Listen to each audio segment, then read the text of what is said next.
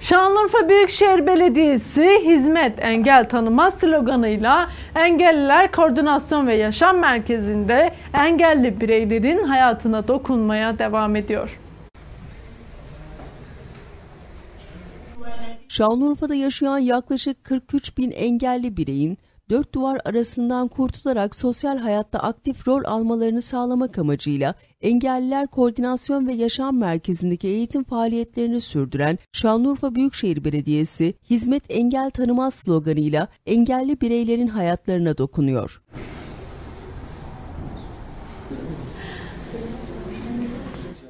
Şanlıurfa Büyükşehir Belediyesi 14 bin metrekare alan üzerinde kurulan Engelli Koordinasyon ve Yaşam Merkezi'nde her engel grubuna hizmet vererek engelli bireylerin sosyal hayatın her alanında etkin bir şekilde yer almalarını sağlıyor.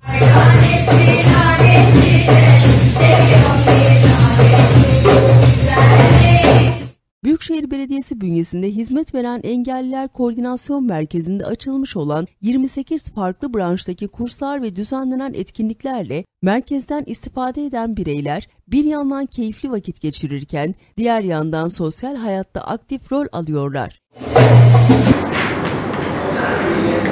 Engelli ve Koordinasyon Merkezi'nde verilen kültürel kurslarla bireylerin kendilerine olan özgüveni artarken sanatsal faaliyetlerle de sanata göz kırpan ve üreten bir toplumun oluşmasında önemli bir rol üstleniyorlar. Kurslardan 500 kursiyer yararlanıyor.